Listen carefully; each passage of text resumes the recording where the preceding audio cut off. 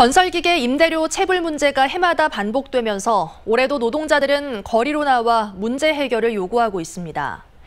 임대료 체불 방지를 위해 보증서 발급을 의무화하고 있는 현행법도 현장에서는 무용지물이라는 지적이 나옵니다. 보도에 강서영 기자입니다. 건설기계 노동자들은 임대료 체불 문제 해결을 요구하며 올해도 거리로 나왔습니다.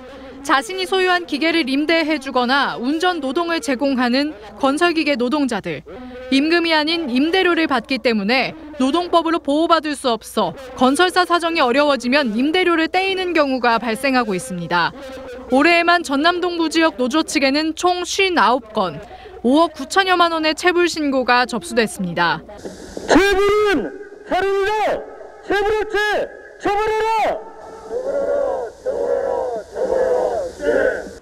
알고 보니 정부는 2013년부터 착공 전 건설사가 원청 측에 건설기계 임대료 지급 보증서를 제출하도록 의무화하고 있었습니다.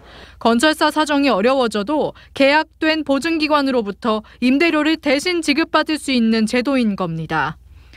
하지만 현장에선 보증서 발급 의무가 지켜지지 않고 있었습니다. 여수산단 대기업 공사 현장에서 두 달간 크레인을 임대해준 정모 씨는 건설사가 보증서를 발급하지 않아 2천여만 원의 임대료를 받지 못했습니다.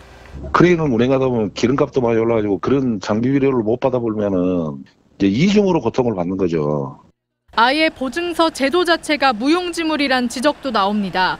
대부분의 현장에서 건설기계 임대차 계약서를 작성하지 않기 때문입니다. 지난해 고흥 녹동 해수탕 건설 현장에서 6개월간 크레인을 임대해주고도 건설사의 자금난으로 5천여만 원의 임대료를 받지 못한 김재용 씨. 건설사와 김 씨 사이에 임대차 계약서가 없어 보증기관으로부터 임대료를 지급받지 못하고 있습니다. 김 씨는 의뢰 입장인 크레인 노동자가 계약서 작성을 요구하는 것이 쉽지 않다고 말합니다.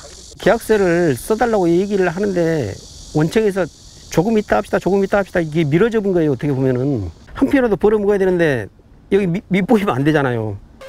노조 측은 지자체가 임대차 계약서 미작성과 보증서 미발급 등 행정조치 대상에 관리 감독하지 않아 체불 문제를 방치하고 있다고 주장하고 있습니다. 현장 상황과 달리 실제로 전라남도에서 임대계약서 미작성으로 적발된 사례는 지난 3년간 단 한 건도 없었던 것으로 드러났습니다.